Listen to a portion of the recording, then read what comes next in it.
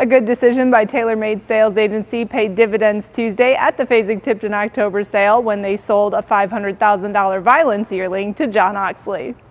The Ontario bred was the highest priced yearling since 2013 to sell at Fasig-Tipton October. Pinhooked as a $180,000 weanling from the Keeneland November sale, he was bought back in August from Fasig-Tipton Saratoga for 270,000. I'll give Frank and Katie Taylor all the credit in the world. Uh, at Saratoga this year, Frank said, you know, I love that horse today. We bought him. Uh, he was not at his absolute best at Saratoga. He lacked just a tiny bit of maturity, he said. And he told me in Saratoga, I'm going to top your October sale with this horse. I love this horse. And he's going to do nothing but continue to improve.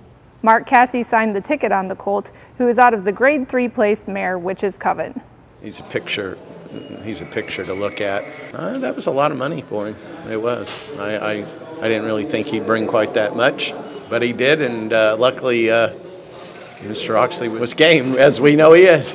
Violence has done nothing but improve his reputation since August anyway, so it really was fortuitous that we didn't get him sold. I mean, he almost got there at, at Saratoga, and then it was lucky that it didn't. He's just a, he's just a real big, powerful colt. Great neck and shoulder, good walk, and he's kind of everything you look for. As overall numbers improved over day one and over the same session a year ago, Mark Taylor said this sale is an emotional roller coaster.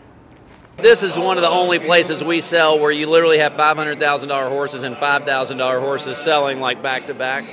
So, you know, it's like this crazy schizophrenic uh, ride through the day where you're just like, you know, people are high fiving and then people are like handing out handkerchiefs and crying and stuff. So it's, you know, it's it's the good, the bad, and the ugly all right here together. Some people just want to go roll in that mud pit that's out there in the middle of the thing because they can't get their horses sold. But you know, that's the reality of the market. It's expensive to train horses. It's expensive to maintain horses, and some of them at the lower levels, it's just hard to get them sold. But I think it's better today.